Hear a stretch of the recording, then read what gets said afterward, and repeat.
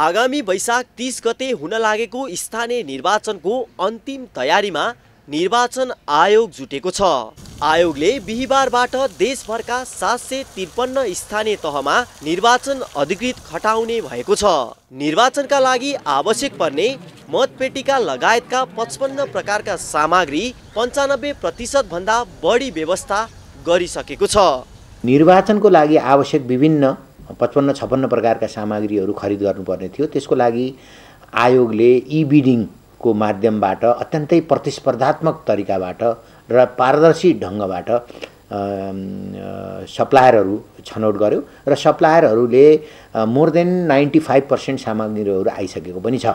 आयोगले निर्वाचनका लागि आवश्यक एक करोड पन्चानब्बे लाख मतपत्र मध्ये एक करोड बाह्र लाख छापिसकेको जनाएको छ। निर्वाचनका लागि आवश्यक पर्ने सबै सामग्री वैशाख बाइस गतेभित्र प्रत्येक जिल्ला निर्वाचन कार्यालयमा पुर्याइसक्ने गरी आयोग तयारीमा जुटेको छ।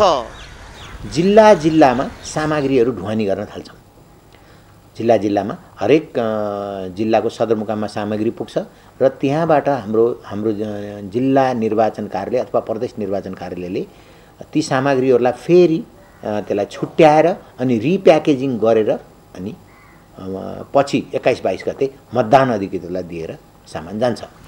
आयोगले यसअघि नै वैशाख एघारदेखि सत्रसम्म उम्मेदवारी मनोनयनदेखि चुनाव चिन्ह प्रदान गर्ने कार्यक्रम घोषणा गरेको थियो। जस अन्तर्गत वैशाख एघार र बाह्रमा मनोनयन दर्ता वैशाख तेह्रमा उम्मेदवारी विरुद्ध दाबी विरोध र छानबिन तथा वैशाख सत्रमा उम्मेद्वारको अन्तिम नामावलीका साथै चुनाव चिन्ह प्रदान गरिनेछ।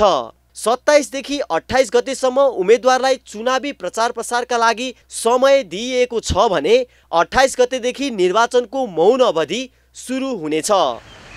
क्यामेरामा निराजन सिंहका साथ अजय खत्री काठमाडौँ।